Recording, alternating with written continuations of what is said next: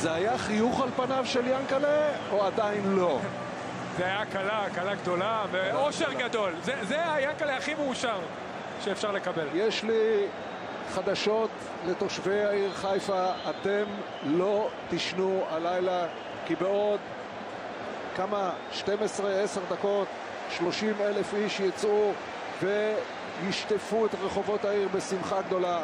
תראה למה התפתח הערב הזה, מ-1-0 של שריף, ממשחק מבולבל לפרקים ולא טוב של מכבי חיפה, זה כבר 4-1 וזה אומר שמכבי חיפה יכולה להרשות לעצמה לספוג שער ולעלות עדיין לסיבוב הבא ולהימנע מפנדלים. שורנוב עם השער הרביעי. גול גדול, בישול של פיירו ומגיע לדגו. איזה הקלה, איזה אושר גדול, כל כך מגיע לו. שורנוב עם ביצוע אדיר פשוט. הנה פיירו גם עם הבישול, בינתיים היה חילוף אצל שריף, הפוסטולקיס יצא, ריקרדיניו נכנס.